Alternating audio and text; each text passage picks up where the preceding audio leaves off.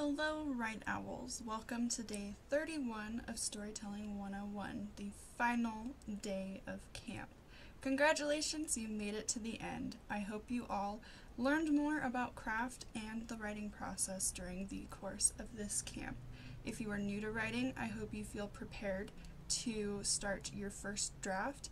And if you've written before, I hope you have the tools to improve your writing and become a better writer.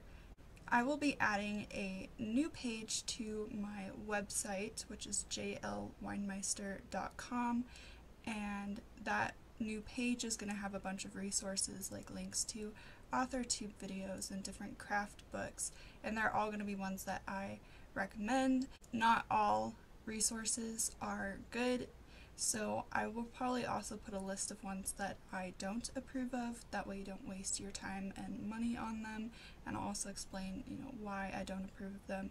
But you can check out that new page on my website if you want to look for more resources to help you improve your writing. There will be future Camp Write Owls. Some of them will have different content, and some of them will have more in-depth discussions of the content from Storytelling 101. The next camp will be Grammar 110, and that will be launching on June 1st and going all the way through the end of the month.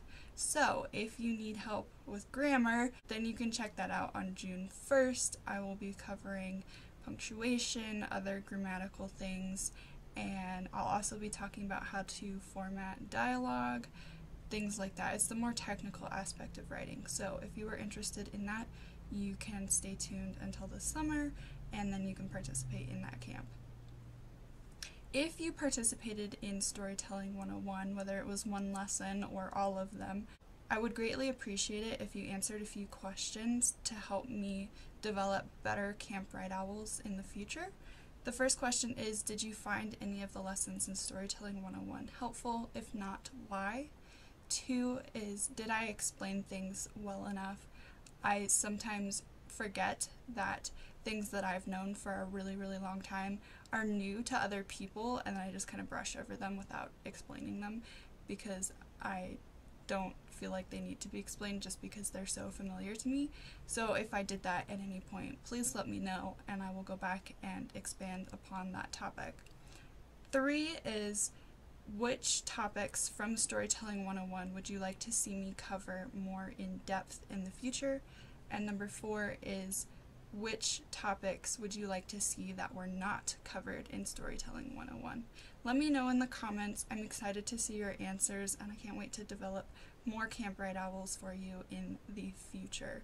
Again, I really hope that Storytelling 101 benefited you in some way and I look forward to seeing some of you in Grammar 110 in June. I hope you all have an amazing day.